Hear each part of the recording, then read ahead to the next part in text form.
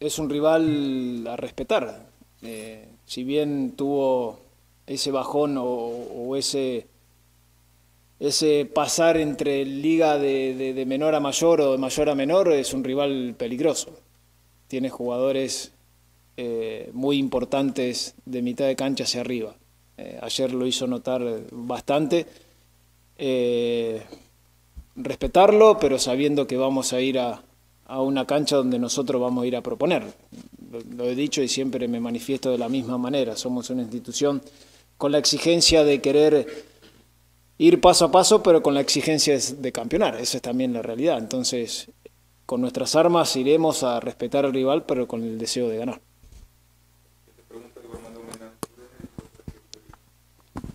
¿Cómo está, profe? Diego Armando Medina de TUDN. Profe, ¿cuáles son los los pros y, cuáles los contras de este, de este parón previo a la liguilla. Ya después de que usted ve a sus muchachos, ya regresaron los seleccionados, los que se recuperaron, ¿cuáles siente que siente que son los pros y, los contras de, este parón tan largo? Sí, eh, buenas tardes, Diego. Eh, los pros es que nosotros a nivel de recuperación de lesionados pudimos recuperar gente que venía con dolencias y eso fue algo muy bueno para nosotros y hoy podemos decir que tenemos un 95% de plantilla completa. Entonces, ahí me da muchísimo más dolor de cabeza ahora en armar un equipo. Los contra, yo no soy mucho de, eso de pensar de, tanto tiempo sin entrenar o una competencia. Son jugadores profesionales, ellos tienen que saber que si nuestra liga tiene estas cosas, eh, hay que aceptarlas. Entrenamos, sabemos el rival, estos días vamos a trabajar sobre eso y llegar de la mejor manera con el ritmo que nosotros queremos de entrenamiento para el partido. ¿Cómo estás, Fer? Sergio Treviño para, para Fox Sports.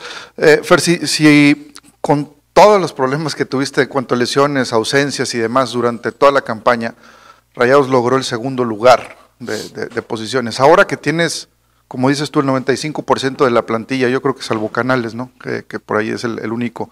Eh, ¿Qué podemos esperar de este Monterrey? Eh, ¿Vemos un Monterrey más fuerte, más eh, reforzado? ¿Es la plantilla ya completa? ¿Cómo lo ves tú? Sí, buenas tardes. Eh, Axel también. Axel también está en, situación de recuperación junto a Sergio. intentaremos hacer una mejor versión de Monterrey, a tener diferentes variantes y posibilidades de nombre, quizás ahí ya tiene que ver y notarse la mano del entrenador. Si bien anteriormente los lesionados me permitían poder tener recursos en fuerzas básicas que los chicos han respondido muy bien, tengo otra alternativa más para que los profesionales y los que se recuperaron sepan que los jóvenes pueden responder a la hora de la necesidad deportiva. Esperemos llegar de la mejor manera, seguir corrigiendo y mejorando el juego y ser inteligente porque es un partido de ida y vuelta.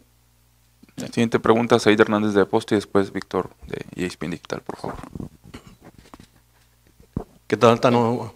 Buen día. Retomando el tema de San Luis, eh, ya se hablaba al inicio de que no tuvieron un, tuvieron un mal cierre en el torneo regular, pero ayer eh, se imponen a León, un rival que no tiene mucho el, el, balón, la posición de la pelota, pero con solamente eh, tres llegadas claras al, al, arco, al arco rival eh, le basta este, para, para poderse imponer y meterse dentro de los cuartos de final.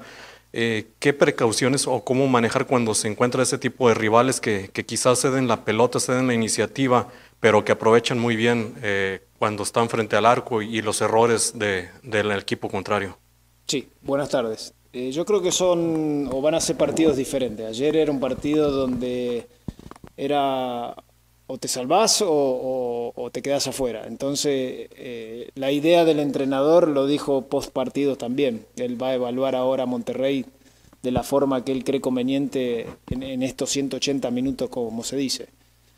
De San Luis lo dije y lo vuelvo a repetir, es un rival digno de respetar, tiene jugadores que hacen diferencia.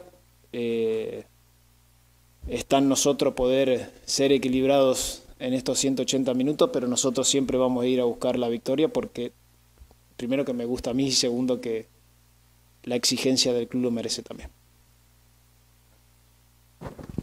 ¿Qué tal? Buen, buen día, Víctor Álvarez de ESPN Digital. Preguntarte, evidentemente se habla de, equipos favoritos, ¿no? Se ha hablado mucho de, de, América, ¿no? Que es un equipo que ha hecho bien las cosas durante la fase regular. Pero ahora con, con evidentemente ustedes hicieron un buen trabajo, quedaron bien en la, en la tabla, evidentemente sienten que ya con la recuperación de todos los jugadores, teniendo todo el plantel, van a ser también un rival a vencer dentro de esta liguilla? ¿Sí lo sienten ustedes? Sí, buenas tardes. Nosotros tenemos una exigencia que el club demanda de estar en los primeros planos, eso es la verdad. Eh, después, eh, los títulos y rótulos nosotros no los ponemos, nosotros sí tenemos claro el objetivo de ir eh, paso tras paso en esta, en esta liguilla. A medida que vayamos avanzando, obviamente que ese título va a estar. No lo voy a negar, pero nosotros pensamos el día miércoles y así seguidamente para tratar de, seguir con la cabeza tranquila. La siguiente pregunta para Gilberto y después Chuy Carvajal de Cancha Norte. Eh, gracias, Manuel. Hola, profesor. Buen día, Gilberto Bolán para Once Aéreos. Dos preguntas de mi parte. Entiendo que fue su primer partido en la liga y que todavía no existía Sergio Canales ni Jesús Corona. Vaya, hay diferencias, pero ¿qué tanto ha evolucionado el rival que le toca ahora en cuartos de aquel que se enfrentó en la jornada 1? Y la segunda, mencionaba ahorita que respetarán al rival. Vaya, todos los tópicos que se ha dicho, pero San Luis tiene una particularidad en el juego que es sale desde su junta pases en la defensa, suele atraer al rival y lo ataca al lado débil. Ustedes con esa inercia de ir a buscar, a presionar y defender muy alto, ¿cómo se trabaja para ese tipo de escenarios? Sí, buenas tardes Gilberto. Eh, bueno, todo equipo cambia de un principio a un final de una liga. Eso es algo normal y nos pasa a todos. Mantener una regularidad es muy difícil. Eh, ese es un análisis, no sé si tuyo o lo que opinan de fútbol. Nosotros estamos analizando qué es lo mejor para Monterrey. Si bien es algo que lo que hablaste es algo real, pero nosotros tenemos que pensar en cómo poder hacer nuestro plan de trabajo, nuestro plan de, de, resultado eh, a la ida. Y después veremos, pero vamos de a poco. Gracias. Siguiente pregunta, Jesús, por favor. Gracias. Jesús Carvajal del Periódico Norte, profe, buenos días. Ahorita mencionabas que obviamente la prensa o la afición es la que pone el, rótulo de favorito o no, pero ustedes cómo enfrentan este, en ese aspecto o en su interna el aspecto, si con mayor obligación por lo que representa el Monterrey de avanzar, sabemos que San Luis obviamente también tiene una obligación de avanzar con su gente y todo, si lo asumen así, el decir por lo que representa Monterrey, pues somos eh, eh, ese, ese favorito, ese mayormente obligado, y por otro lado también, ¿qué tanto te preocupa un equipo del San Luis que ya vino y se plantó aquí con Rayados en otro, hace un año y medio vaya, y ya se plantó aquí con Monterrey y lo elimina en una fase final? Sí, buenas tardes. Eh, voy a ser diferente. La bajada de línea que yo bajo como entrenador es respetar al rival y hacer nuestro partido de ida y nuestro partido de vuelta. Esa es la realidad. El favoritismo es algo normal, diríamos, en equipos regios y de capital. Los jugadores entienden y saben la exigencia que es vestir esta playera. Esa es la respuesta que te doy para eso. Siguiente pregunta, eh, Oscar Gallardo y después Juan Cruz de ABC Deportes, por favor. Gracias, Manuel. ¿Qué tal, profesor? Por acá, buen día. Oscar Gallardo de ESPN. Hola, Oscarcito. Profesor, eh, pues nada más si pudiera explicarnos cómo regresaron los elementos de selección mexicana, Luis Romo, Jesús Gallardo, después de lo complicado que fue eh, este partido de ida y vuelta ante Honduras. Eh, quizá sufren de mal los futbolistas mexicanos antes de una liguilla. No sé si esto pudiera afectarles en un rendimiento para regresar a la liguilla o, cómo los vio usted, profesor. Sí. Hola, Oscarcito, buenas tardes. Eh, primero, felicitar a la selección que ha conseguido un logro importante deportivo para, para nosotros y para la nación. Eso es lindo de destacar. Jesús llegó muy cansado. Llegó no con dolores anormales diríamos, pero sí ese cansancio lo, sintió. Lucho, si bien no tuvo los minutos que tuvo Jesús, ya está entrenando a la par de sus compañeros. ¿Afecta? No, no creo. No. Son jugadores de selección y saben que tienen que jugar siempre. De nada. Por favor, Juan. Buenas tardes, profe. Juan Cruz para ABC Deportes. Hola, Juan. Eh, anteriormente nos había comentado que había encontrado un equilibrio en el equipo. Ahora con las incorporaciones de los lesionados, ¿seguirá con ese equilibrio o buscará ser aún más ofensivo, llegando al punto de aprender a sufrir en defensa, como lo había mencionado antes? Y si me permite una segunda sobre Sergio Canales, ¿existe la posibilidad de verlo en liguilla o ya se considera directamente para el próximo torneo? Sí, buenas tardes Juan. El equilibrio voy a tratar de siempre mantenerlo, no es que siempre voy a estar desequilibrado, al, contrario. Eh, Creo que en su momento al entendimiento del juego necesitábamos un poco más, los chicos lo entendieron y hoy fuimos una de las defensas más sólidas del torneo. Seguiremos de la misma manera. Lo importante es saber entender que la liguilla es un torneo aparte como, como todos sabemos. Sergio está muy bien, está entrenando muy bien, creería yo, me voy a adelantar algo, quizás el lunes podría estar en algunos trabajos con nosotros. Siguiente pregunta, Javier Alonso, y después Samuel acá noreste. Gracias, Semi. Eh, Tano, ¿cómo te sientes eh, al ver ya ahora sí prácticamente a todos tus jugadores disponibles?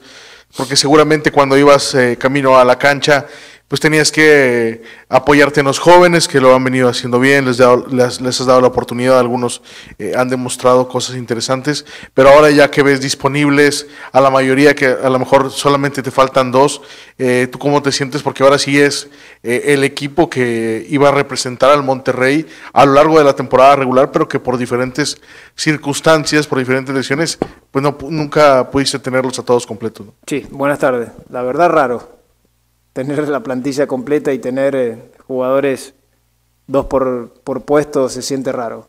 Pero nada, feliz. Ese dolor de cabeza que me genera quién está mejor, lo quiero siempre. Pero feliz porque se recuperan, feliz porque van a competir. Eh, el que esté mejor va a jugar. Así que ellos lo saben y me faltan dos soldaditos nomás. ¿Tienes otro Monterrey entonces? No, el mismo. Es el mismo. No, no, pues, me refiero a que ahora tienen más herramientas, ¿no? O sea, ah, bueno, encontraste jugadores. Eh, seguimos haciendo lo mismo, los mismos jugadores, pero tengo más variante a la hora de tomar una decisión táctica o de nombre deportivo. ¿No anda? Bueno, con este. Velo. Buenos días, profe. Samuel Luis para TV Azteca.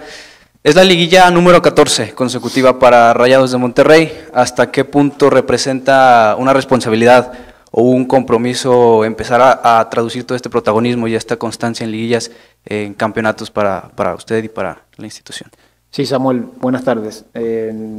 la responsabilidad es siempre la misma, no, no importa el número de liguilla que participe el club. La exigencia tiene que estar siempre para esta institución. La tomaremos con la misma seriedad que han tomado los chicos siempre en anteriores liguillas.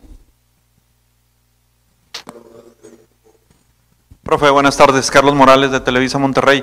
Después de cómo ha sido todo este trajín del torneo para, para el equipo, la situación de los lesionados y, todo lo que hemos pues, visto de, del Club de Fútbol Monterrey y de Fernando Ortiz, ¿qué tan afinado está el cuadro que usted proyectaba para, para que se desempeñara el proyecto de Fernando Ortiz actualmente. Sí, buenas tardes. Bien, vamos por el camino que todos queríamos, vamos por el camino que deseamos ver eh, al equipo que todos pretendemos y pretendíamos, pero falta lo más importante. Si no hacemos un buen papel en lo más importante, va a ser difícil que puedan hablar de, de un proyecto. Ya con todo el plantel podría verse un Rayados más agresivo, más ofensivo, como siempre nos compartió que lo quería? Gracias. Tomaré decisiones en el momento que tenga que tomarse ofensiva o defensiva. ¿Qué tal, Fernando? Buenos días, buenas tardes. Quería preguntarte sobre tu referente, sabiendo tu nacionalidad y tu filosofía de juego que es muy ofensiva y habiendo tantos entrenadores argentinos, eh, ¿de dónde vienen tus mayores, tus mayores referencias? Si vienen de Menotti, Bilardo, eh, por ahí, ¿de dónde te nace esto de jugar tan ofensivo? Sí, buenas tardes. De Menotti, de Bilardo no creo que sea ofensivo, pero eh, no, de todos.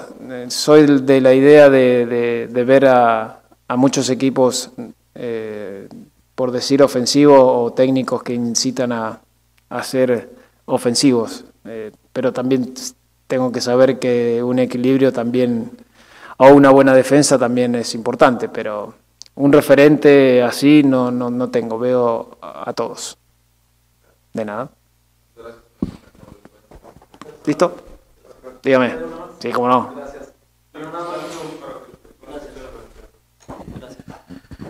Bueno, nada más preguntarme, preguntarte eh, en específico cómo está Fernando Ortiz. Hablabas ahorita de la exigencia de, de, lo, de lo que hay aquí en este equipo. Evidentemente siempre llegaría a pelear por el título. Ya viviste esto con América. ¿Cómo lo vives ahora? ¿Cuál es la diferencia que ves? Porque evidentemente en, en, en América también es el título sí o sí. Hoy en Rayados, ¿cómo lo vives? ¿Cómo está actualmente? ¿Y cuál es la diferencia que ves entre ellos? Bien, me siento bien, con muchas ganas. Eh, no creo en revanchas, pero sí tengo la ilusión, como la tenemos todos, de poder lograr el objetivo que es campeonar.